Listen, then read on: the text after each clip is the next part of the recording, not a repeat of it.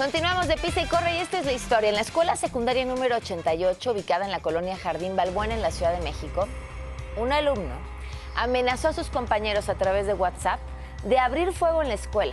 Esta es la historia.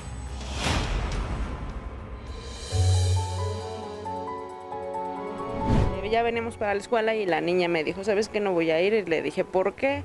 Y ella me dijo, no, es que hay eh, un grupo donde dijeron que está amenazando un niño donde nos va a, a matar. Yo, ¿cómo que a matar? Y ella me enseñó una foto donde el niño está con una pistola y este, ella me dice, y es que hay mensajes donde él dice que si no es adentro va a ser a la hora de la salida. Quise imaginar que eran rumores, pero ya cuando llegué sí había muchas patrullas. ¿Y qué, qué, qué le dijo a la niña? Mm, yo le ¿Sí, dije... sí entró la niña?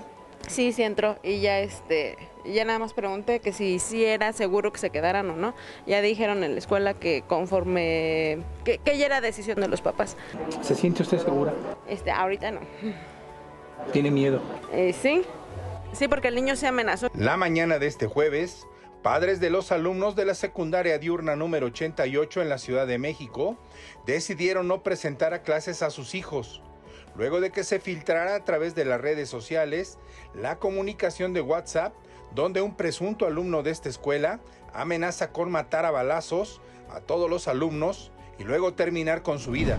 Salió sacó una pistola, eh, la publicó en, en- en WhatsApp y provocando de que iba a hacer algo hoy.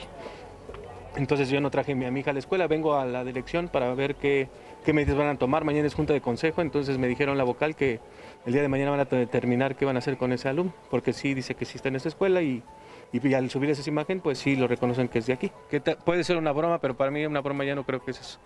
Y eso es otra hija cosa. No, si fuera una broma, a lo mejor no sale, no, no, no lo publica con el arma. Y... En la publicación se puede observar a un joven no mayor a 15 años empuñando una pistola tipo escuadra automática, inclinada a 45 grados a la altura del pecho, y en una segunda fotografía con el arma a un costado de la pierna derecha.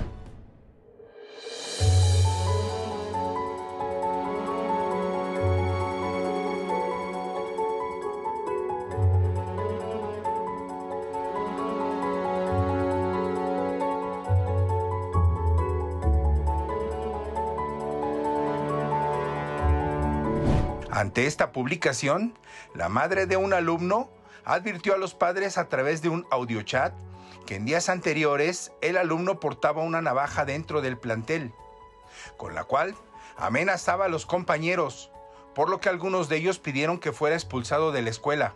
También se escucha que las autoridades del plantel descartaron esta sanción y que le pidieron a la madre del joven que se hiciera cargo de la seguridad de su hijo, tanto a la entrada como a la salida de clases.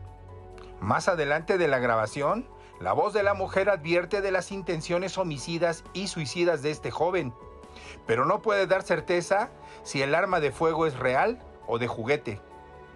Pues la directora nada más les dijo que este, iban a aplicar el marco cívico al alumno y que estaba este, bajo el resguardo de su mamá en la entrada y en la salida, que ella era la guardia de él, de que eh, a la hora de entrada y la salida él- ella la tenía que, que revisar a su hijo. No, pues muy bien. Qué, qué, qué horror. ¿eh? Sí, quién sabe si hay juguete o no. Hay que pensar que son reales siempre.